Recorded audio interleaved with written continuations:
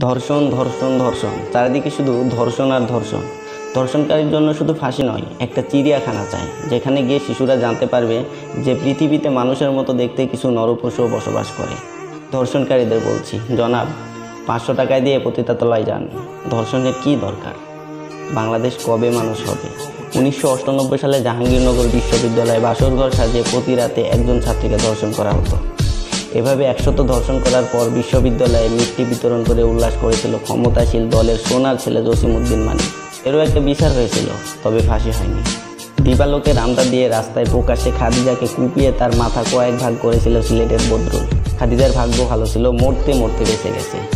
বদরুলেরও একটা বিচার হয়েছিল, তবে খুব বেশি হয়নি। উনিশশো আঠারো সালে বরিশালের বানারীপাড়ায় মা মেয়েকে একসাথে ধর্ষণ করে মাথা নেড়ি করে দেয় প্রভাবশালী তুফান। তুফানেরও একটা বিচার হয়েছে, তবে ফাঁসি হয়নি। সংরক্ষিত এলাকা কুমিল্লা ক্যান্টনমেন্টের ভিতরে তনুকে ধর্ষণ করার পর হত্যা করা হয়। কে বা কারা জড়িত তা কিন্তু গোয়েন্দা বাহিনী ভালোই করেই জানত। কিন্তু তনুর ধর্ষণকারী কেউ গ্রেপ্তার হয়নি।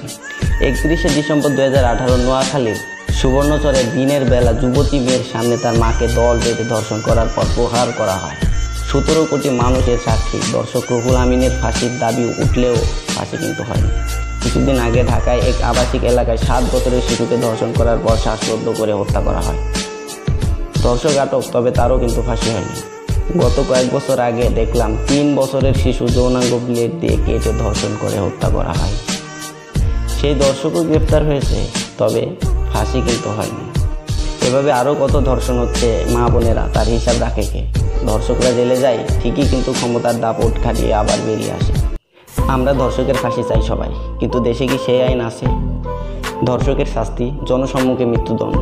মাত্র তিন চারটা দিয়ে দেখুন, ধর্ষণ তো দূরের কথা, কোনো মায়ের দিকে চোখ তুলে তাকানোর সাহস পাবে না কোনো কুলাঙ্গা অতএব সর্বশেষে কথা আমরা আর একটিও এরকম ঘটনার সম্মুখীন হতে চাই না, আর একটিও ধর্ষণ চাই না। এবং ধর্ষকের শাস্তি হোক, মৃত্যুদণ্ড আপনারা কি চান? কমেন্ট বক্সে জানাবেন। সবাই সুস্থ থাকবেন, ভালো থাকবেন আর নিরাপদে থাকবেন। আল্লাহ হাফেজ। আমি চিৎকার করে কাঁদিতে চাহিয়া করিতে পারিনি চিৎকার, বুকের ব্যথা, বুকে